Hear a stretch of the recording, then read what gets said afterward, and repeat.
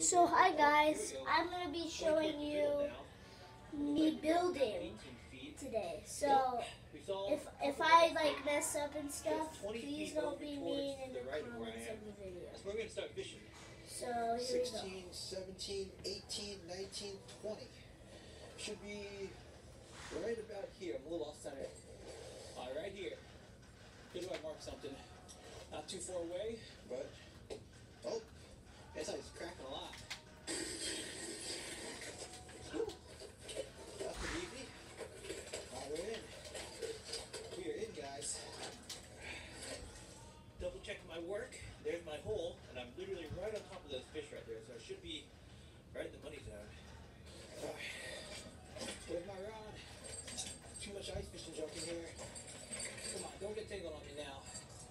Alright, there we go. Now I need to pull up some waxy without getting hooked. So that's it guys. That was me building. So Here they are. see you next time. Bye. We've got some clear water.